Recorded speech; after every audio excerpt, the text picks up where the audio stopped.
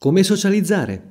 Sette abitudini da seguire per essere più socievoli e migliorare la qualità delle proprie relazioni interpersonali. Prima di continuare, hai già scaricato l'estratto gratuito di Vinci la timidezza in 30 giorni? Per scaricarlo puoi cliccare qui a lato o trovi il link anche in descrizione. Ti consiglio di scaricarlo subito e iniziare a dargli un'occhiata. Troverai molti spunti interessantissimi per eliminare la tua timidezza. Oggi ti voglio parlare di 7 abitudini chiave per essere più socievoli, 7 punti chiave per migliorare la propria capacità di relazionarsi con gli altri. Ti sei mai chiesto perché ci sono persone che riescono a essere aperti con tutti e altre che invece fanno fatica? La risposta è semplice. Le persone più socievoli adottano dei modi di comportarsi e di pensare che sono più efficaci e in questo articolo andremo a vedere i principali. 7 abitudini per socializzare. 1. Lascia andare il bisogno di importi sugli altri. Se segui seduzione e attrazione da tempo, ti sarai sicuramente imbattuto sul concetto di uomo alfa e di uomo beta. Se hai fatto attenzione, hai capito che ognuno di noi ha degli aspetti da uomo alfa e da uomo beta. Purtroppo capita di vedere molti uomini però che si fissano per apparire alfa a tutti i costi, cercando di imporsi costantemente sugli altri, di comandare, di mostrare comportamenti macisti superando i limiti del buonsenso. Questo è quello che Marco chiama dominanza negativa. Per farla breve, questi uomini sono uomini che vivono dei problemi di autostima, credono cioè di non essere degli uomini attraenti o di valore, perciò cercano di autocompensare questa loro insicurezza con degli atteggiamenti estremi che non li fanno apparire naturali. Infatti credono che essere alfa voglia dire essere attraenti. Il loro problema però è che fanno di questa equazione una regola fissa, ignorando tutto il resto. So che è importante tenere la schiena dritta e avere un linguaggio del corpo aperto, per esempio, ma non bisogna esagerare e soprattutto non bisogna farlo con l'intenzione di impressionare qualcuno. Le persone che hanno maggior successo nelle relazioni sociali sono quelle che lasciano perdere questa stupida gara a chi ce l'ha più grosso, passami il termine, o meglio, a chi è più dominante, più figo o più autorevole. È una cosa stupida e pericolosa che ti porta solo a creare delle barriere con gli altri.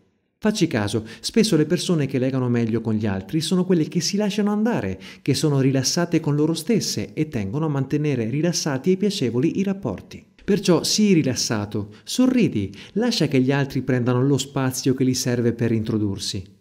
A tutti noi fa piacere avere a che fare con persone che gradiscono la nostra compagnia.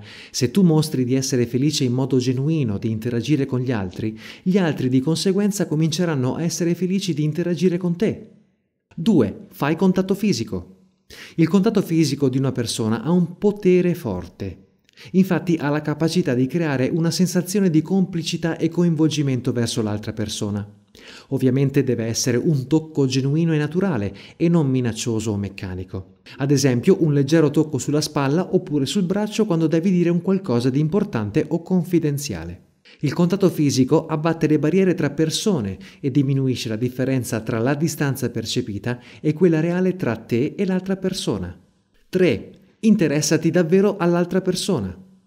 Quando si fa una conversazione, molte persone fingono interesse per non apparire maleducate o perché sono troppo impegnate a fare una buona impressione per seguire veramente quello che l'altro ha da dire. So che spesso è difficile, soprattutto se sei una persona timida, ma qui sta la tua vera sfida cioè nel cercare di liberarti dai comportamenti che cercano di proteggerti e che ti portano a cercare l'approvazione degli altri e diventare una persona vera, autentica che mostra vero interesse.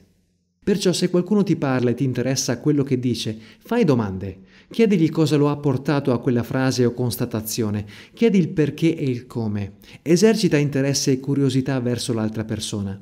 4. Esercita la vulnerabilità. In un recente articolo ho parlato della vulnerabilità e di come funziona. In pratica, la vulnerabilità, oltre che essere il modo più sano che conosco per crescere, è un fantastico mezzo per creare legami. Quello che non voglio che tu faccia è entrare in una sorta di competizione con gli altri. Non voglio che tu mostri quanto sei bravo in qualcosa e non voglio che tu stia male se vedi che qualcuno ha avuto successo mentre tu no.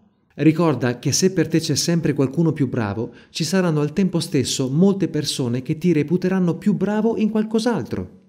Non importa vincere, impara ad ammettere che non sei bravo in tutto e se qualcuno è più bravo di te, mostra genuinamente ammirazione e complimenti con quella persona. L'invidia agisce come un cancro per la tua autostima. Impara ad essere felice per gli altri come prova del fatto che a tutti in questo mondo possono capitare delle cose belle. Sì, anche a te. Non sentirti obbligato a mostrarti vincente, mostra la vulnerabilità. Ricorda che ciò che hai costruito può impressionare, ma in realtà alle persone piace ciò che è genuino e vero. 5. Non agire per un ricambio. Molte persone quando agiscono o parlano lo fanno spesso con l'intenzione di avere un ricambio.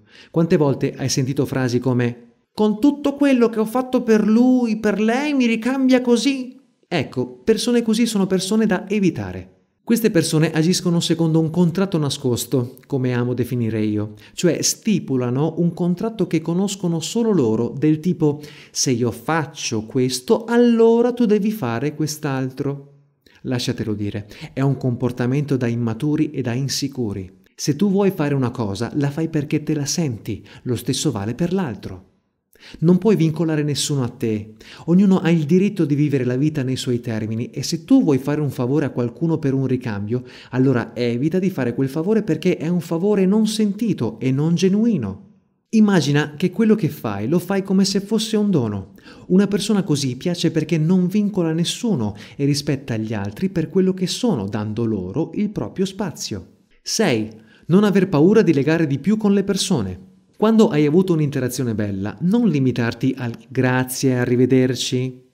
Se quella persona ha saputo darti un'interazione bella, allora stringigli la mano, tocca con l'altra il suo braccio e digli con un sorriso mi ha fatto davvero piacere parlare con te. Se ti va possiamo vederci in futuro. Sicuramente, esprimendo in modo aperto e genuino la tua riconoscenza, farai sì che gli altri non si dimenticheranno di te. In più avrai un rapporto un po' più stretto con quella persona. Molti uomini hanno paura di essere vicini perché non vogliono essere coinvolti, preferiscono mantenere le distanze perché ci si sente dentro la zona comfort, cioè più al sicuro. Ti sto dicendo di appiccicarti alle persone per sentirti degno di valore? Assolutamente no. Ti sto dicendo che nei rapporti bisogna sempre un po' rischiare e avvicinarsi agli altri con la consapevolezza che l'altro è liberissimo di avvicinarsi o di allontanarsi da te. Ti ricordo che devi agire come se facessi un dono, il dono di te stesso. 7. Fregatene di quello che gli altri pensano di te. Inconsciamente molte persone continuano a chiedersi cosa pensano gli altri di me?